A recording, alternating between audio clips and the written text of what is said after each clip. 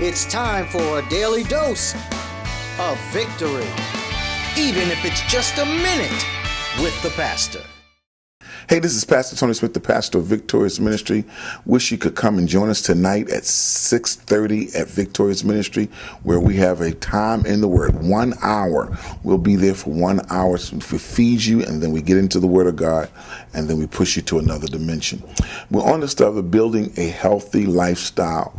I want to talk to you today about never be afraid to go to the doctor, and don't let your circumstance stop you from going to some place or the doctor to help you live.